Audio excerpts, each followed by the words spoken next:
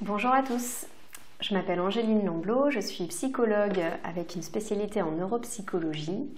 Aujourd'hui, je souhaitais vous proposer une petite capsule vidéo pour euh, aborder le, un sujet pratico-pratique en fait qui, euh, qui pourrait aider certaines familles avec un ou plusieurs enfants qui ont des troubles 10 et notamment pour les familles avec euh, des, des enfants qui ont un TDAH, donc un trouble déficitaire de l'attention avec ou sans hyperactivité. Alors pourquoi cette capsule vidéo? Parce que euh, finalement je me suis rendu compte que lorsque vous venez en, rendez-vous, en consultation, que vous cherchez des solutions, euh, l'une des problématiques euh, quand même communes à beaucoup de, des situations, ça va être la gestion des devoirs. Donc un vaste, très vaste sujet, les devoirs. Et donc aujourd'hui, je voulais vous proposer donc un outil assez concret qui peut, dans certains cas, apaiser le moment des devoirs, amener une organisation euh, plus cool, plus écologique euh, par rapport euh, au fonctionnement du coup de, vos enfants 10 ou TDAH. alors, déjà, premier, premier repère, je pense important à avoir en tête, c'est que nos enfants, pour avoir une concentration qui est optimale, qui est efficiente, donc qui fonctionne correctement, il va falloir veiller à ce que les devoirs ne soient pas faits en fait après 18 heures. Alors c'est un, repère bien sûr, il y a des enfants pour qui ça posera aucun problème et puis euh, il y en a d'autres pour qui ce sera beaucoup plus compliqué.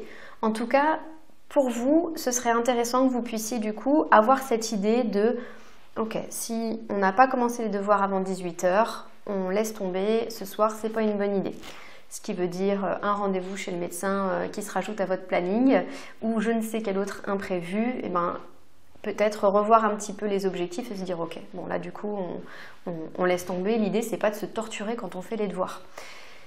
Donc il y a ce repère de 18 heures. Ensuite il y a un autre repère qui est euh, intéressant et important je trouve, c'est combien de temps les devoirs doivent-ils durer?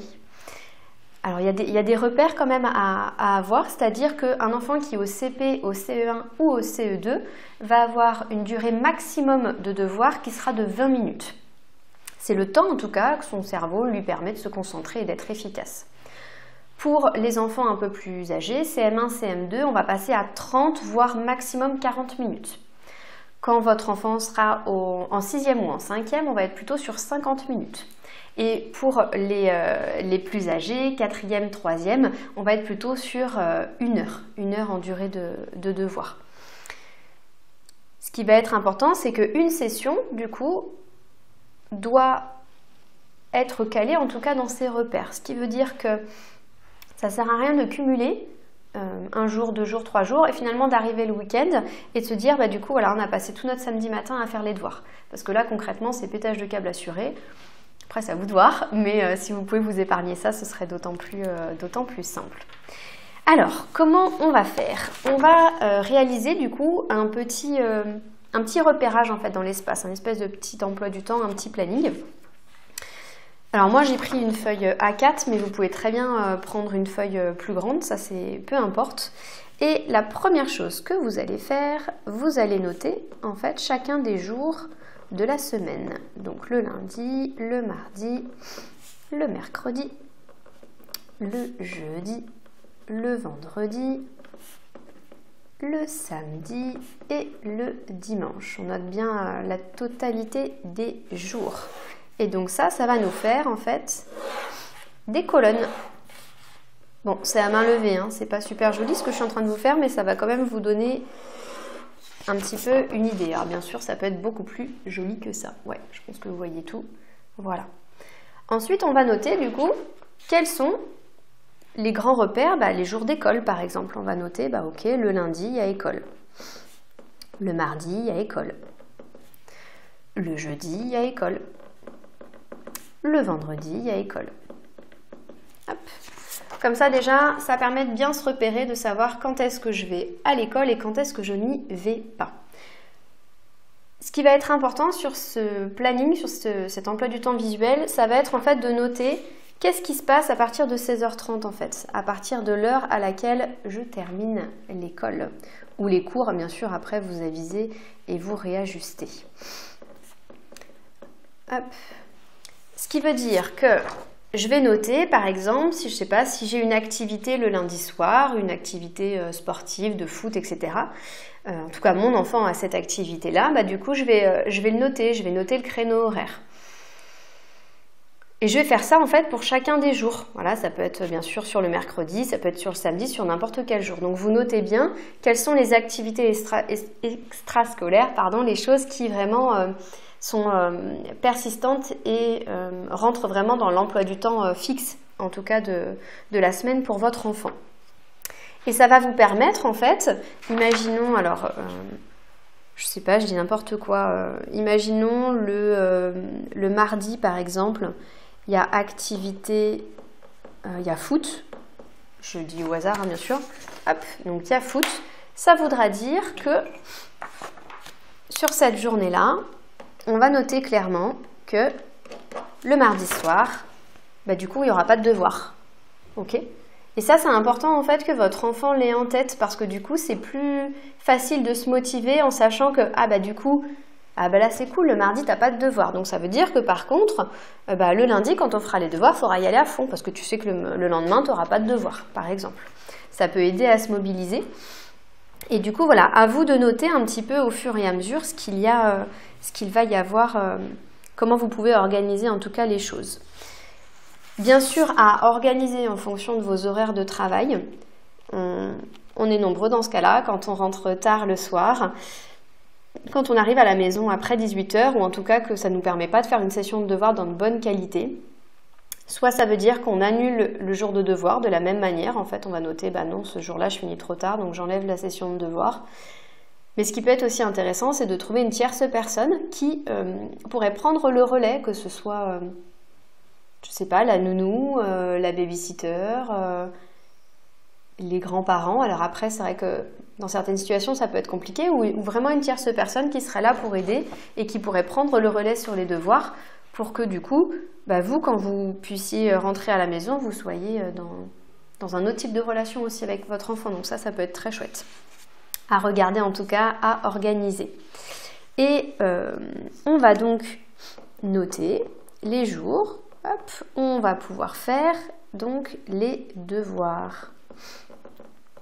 Donc on va noter par exemple et ce qui est important, c'est qu'on va mettre un, code de couleur pour que ce soit bien visible et que ça saute aux yeux directement. Donc on voit, alors bien sûr c'est vraiment qu'un exemple, mais on voit que là, il y a du coup euh, trois jours dans la semaine quand il y a école, où le lundi je peux faire les devoirs, le jeudi et le vendredi aussi. Ok, c'est vraiment qu'un exemple, hein, bien sûr.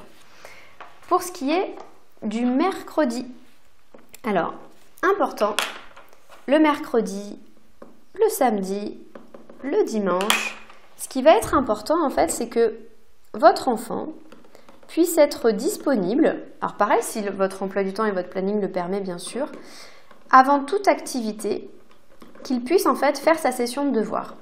Ça veut dire que ça permet d'être satisfait pour le reste de la journée et de ne pas avoir cette... Euh, cette sentence un petit peu qui risque de tomber à n'importe quel moment de la journée. Et surtout vraiment en termes de, concentration et d'énergie, votre enfant va être beaucoup plus à même, euh, après le petit déjeuner, soit une fois habillé, soit encore en pyjama, ça vous voyez, c'est vous qui vous organisez, et bien de se dire, allez c'est parti, on fait la session de, on fait la session de devoir. Pour mettre toutes les chances de votre côté, il y a une chose importante, on laisse tomber la consommation des écrans avant euh, la session de devoir.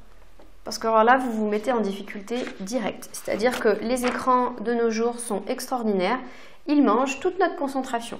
Donc un enfant, et notamment un enfant qui a un trouble 10 ou un TDAH, euh, va avoir moins d'énergie, moins de concentration euh, disponible pour vraiment s'orienter sur ses devoirs. Donc les écrans risquent du coup de consommer, consommer, consommer ce qui fera pardon, que euh, votre enfant sera moins disponible. Donc voilà, petite vigilance à avoir en tout cas. Et un enfant, si on lui explique ça, en règle générale, ça se passe, euh, ça se passe bien, hein, ça ne pose pas de, de, difficultés particulières. Parce que ça ne veut pas dire qu'après, par contre, ils ne peuvent pas en avoir. Mais c'est juste que c'est remis en fait dans un sens particulier.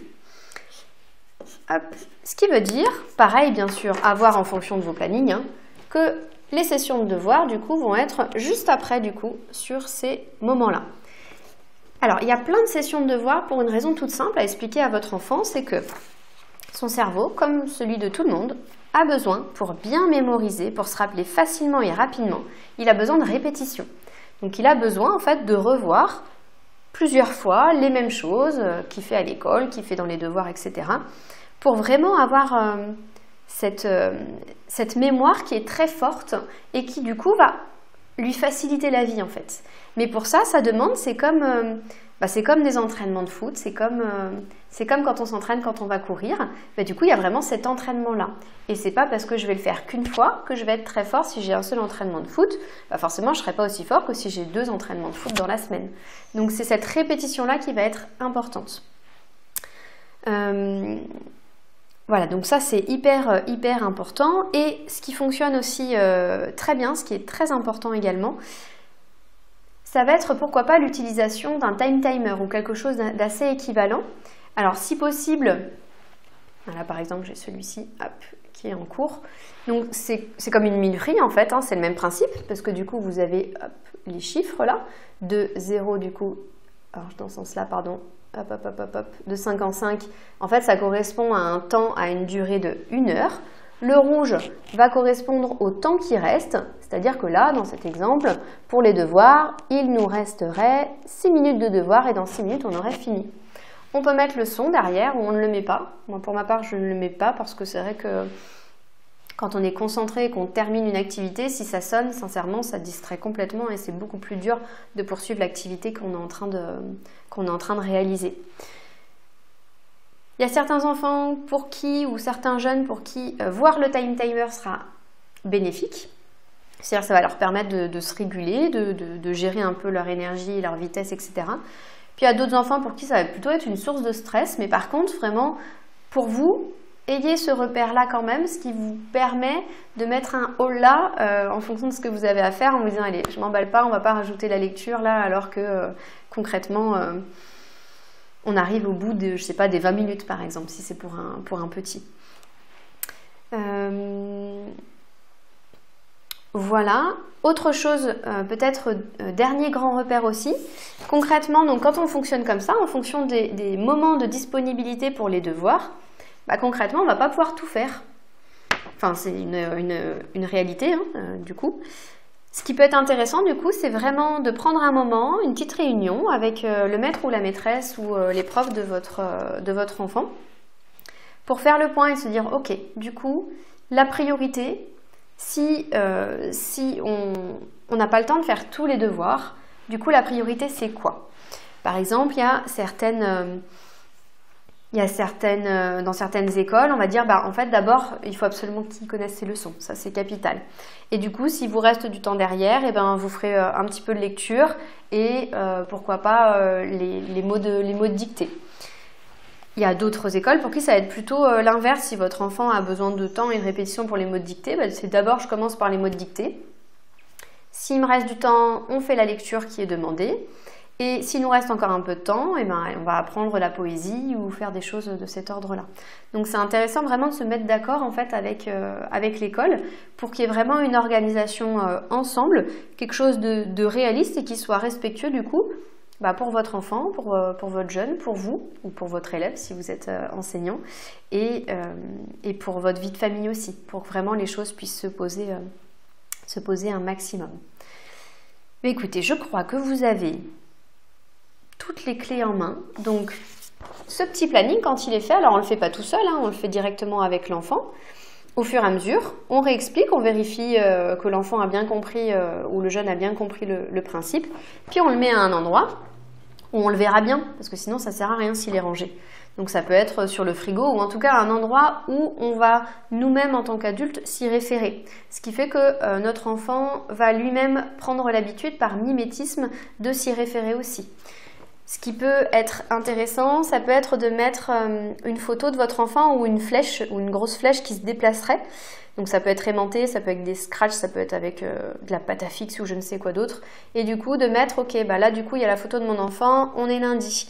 Allez, on déplace, maintenant on est mardi, on est mercredi, etc. etc. Pour se représenter aussi un petit peu euh, dans, dans, dans l'espace, dans l'orientation de tout ça. Écoutez, si vous avez des, commentaires, des remarques, des suggestions ou des questions ou je ne sais quoi, surtout, n'hésitez pas. Je vous souhaite une bonne construction de cet outil et euh, puis je vous dis à tout bientôt.